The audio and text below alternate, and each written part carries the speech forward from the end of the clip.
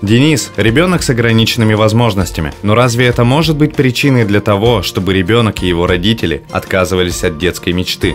Всем привет! Меня зовут Дима Долгих, и мы продолжаем Марафон Добра. Денис мечтает стать пожарным. Побывать им хотя бы в течение одного дня ему помогли его герои. Представители Главного управления МЧС России по Курганской области связались с нашей съемочной группой и предложили устроить для мальчика экскурсию. Первым делом наша съемочная группа отправилась в самую первую пожарную часть Кургани, чистящуюся под девятым номером. Не спавшему от волнения всю ночь Денису показали город с высоты пожарной каланчи и рассказали, как происходило тушение пожаров еще в 19 веке.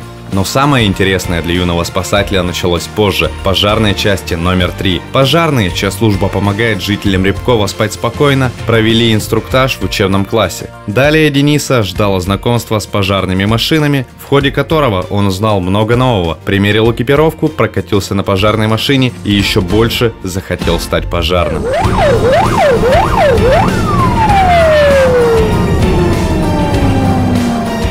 Вы и ваш сын, вы счастливы? Конечно, счастливы. Вы нам подарили праздник целый. Сегодня пусть другие люди не отчаиваются, верят. Ведь добро мы друг другу несем. На примере Дениса могу сказать, что в глазах у него огонь виден. Э, Ждем новое пополнение у нас в части. Мы будем надеяться, что Денис придет к нам. Мы столько всего узнали. Мы увидели блеск в глазах своего ребенка. Для нас это самое главное. На самом деле мы же понимаем, что не бывает чудес. Чудеса творим мы сами. Помогайте друг другу. Может, мир от этого станет добрее. Дмитрий Долгих, Андрей Бахарев, Владислав Базалев специально для информационного агентства Курган.ру.